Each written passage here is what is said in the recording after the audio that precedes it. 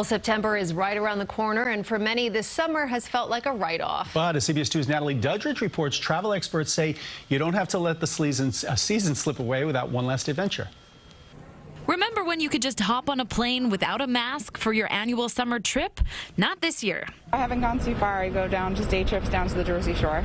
Experts say if you feel like you missed out on summer, now's your chance for a cool trip close to home. You can go to a place like Fire Island for the day.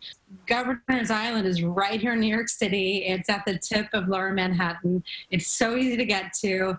And it feels like this totally different world, the Catskills or up through the Hudson Valley. Car travel is the most popular way to get around this year because it's the safest way to limit the spread of COVID 19. If you don't have a car, there's lots of sharing services like Zipcar and Car2Go, promising enhanced cleaning. But book early because they're in high demand.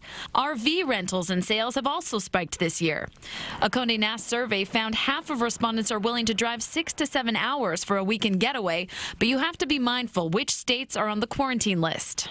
We are within driving distance of a region that stayed fairly safe during COVID, and that's New England. We are welcome into places like Massachusetts without having to quarantine. As for accommodations, cabins and cottages are the most popular this year for social distancing.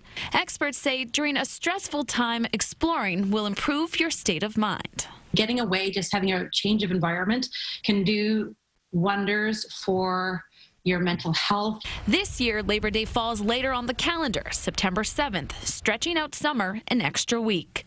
Natalie Duddridge, CBS 2 News. Now, travel experts say it's prime time for peach picking season, for those of you who like peaches, and wine tasting at local vineyards. I know plenty of you like that. Yeah, that's always, always a good time for that, right?